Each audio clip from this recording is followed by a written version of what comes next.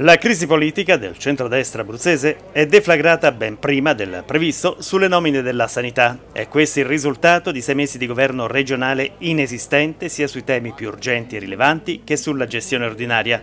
Così i consiglieri di centrosinistra dei gruppi Legnini Presidente, Partito Democratico e Abruzzo in Comune, dopo la verifica della maggioranza di centrodestra alla guida della regione Abruzzo. Ma intanto si è risolto sostanzialmente in una nuova eh, richiesta di spartizione di nomine. Si è partiti da un pizzino che è stato pubblicato con eh, i punteggi, la spartizione diviso per eh, gruppi politici e si è continuato a parlare di questo. La crisi è avvenuta per le nomine fatte sulla sanità, le nomine più importanti di una regione. Questo è il punto. In questi sei mesi non si è fatto nulla, si è avuto una giunta lenta che è passata ad essere una giunta ferma e si è soltanto discusso di poltrone.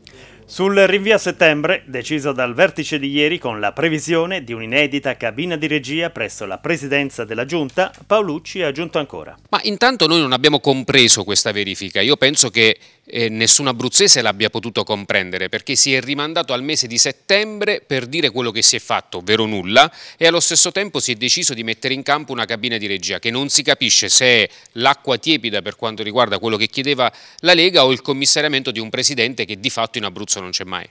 La Lega eh, continua a riproporre questa autonomia differenziata, un tema molto delicato. Noi siamo fortemente preoccupati e anche largamente contrari. L'autonomia per come l'ha proposto la Lega, vanno avanti le regioni della Lombardia e del Veneto nella richiesta più puntuale, sottrarrebbe alla regione Abruzzo centinaia di milioni di euro di risorse, soprattutto per quanto riguarda la sanità e i trasporti. Non si capisce perché eh, Salvini nel suo beach tour lungo le spiagge di questo bellissimo sud e del nostro paese avanzi questa richiesta di autonomia differenziata che è un modo per fregare il sud. Sul presidente Marsilio, Paolucci ha aggiunto infine. Chi l'ha visto? La domanda principale è questa, io penso che è incomprensibile quando dico qualcosa perché non conosce a fondo la questione e i temi dell'Abruzzo e soprattutto chi l'ha visto. Non l'abbiamo visto sulle crisi industriali, sul grande tema di Caramanico e sui tavoli aperti, non lo vediamo sulla programmazione sanitaria. Avete mai sentito parlare il Presidente Marsilio sulla rete ospedaliera abruzzese o ancora sui trasporti? Due norme hanno fatto, i trabocchi e quella dei trasporti, ambedue rischiano di essere caducate.